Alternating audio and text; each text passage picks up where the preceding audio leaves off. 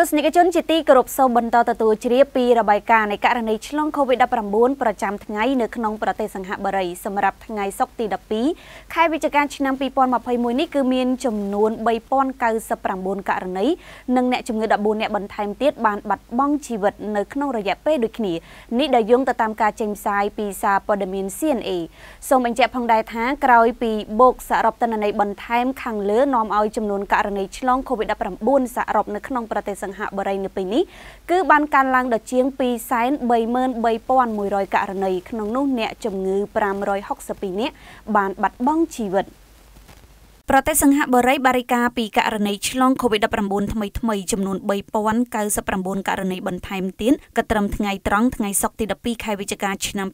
2021នេះបើយោងតាមការចេញផ្សាយដោយសារព័ត៌មាន CNA សម្រាប់រយៈពេលដូចគ្នាប្រទេសអាស៊ានមួយនេះក៏បានរកឃើញអ្នកស្លាប់ថ្មីដោយសារជំងឺដកកាយសាហាវ COVID-19 ចំនួន14អ្នកបន្ថែមទៀតផងដែរដែលនាំឲ្យចំនួនអ្នកស្លាប់សរុបនៅទូទាំងប្រទេសកើនឡើងដល់562អ្នកខណៈករណីឆ្លង COVID-19 នៅទូទាំងប្រទេសកើនឡើងដល់233,176ករណីករណីឆ្លងថ្មីប្រចាំថ្ងៃនៅថ្ងៃសុក្រសប្តាហ៍នេះគឺមានការកើនឡើងបន្តិចមកវិញបើធៀបនឹងតួលេខដែលបារិកាកាលពីថ្ងៃប្រហ័សដែលមានចំនួនឆ្លងថ្មី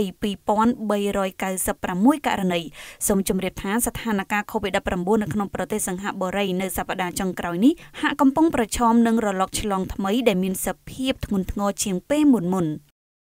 កម្មវិធីនេះឧបត្ថម្ភដោយ Food Panda ដឹកជញ្ជូនលើសពីអាហារ